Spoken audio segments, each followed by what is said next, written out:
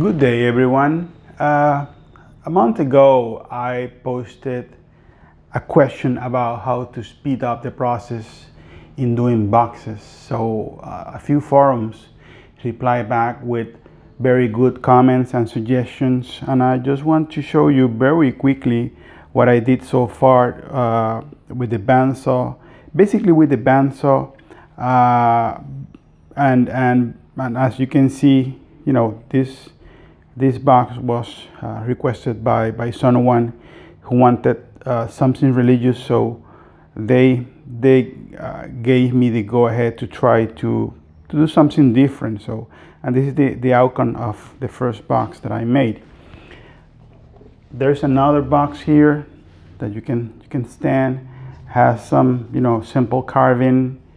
Uh, this is a very beautiful wood. This also made with the bandsaw. It's you know it's, it's, it's a box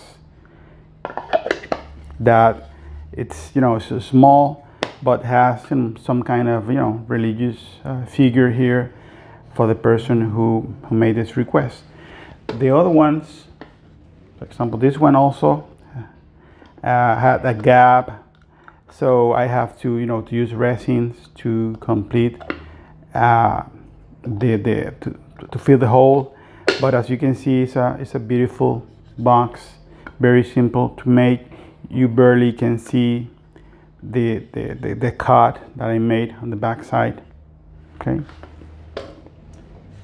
This one was the fastest, the fastest because I made some free cuts and it was done very, very quickly, very easy to make thanks to the feedback I received. And uh, this other, it was, you know, some kind of different.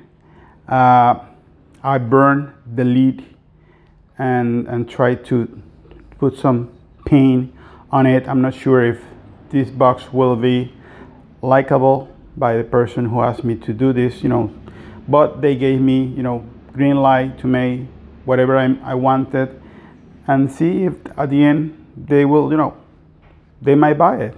So I just want to share with you, you know, what I, what I made basically with the feedback that you provided me. So thank you very much to the uh, community.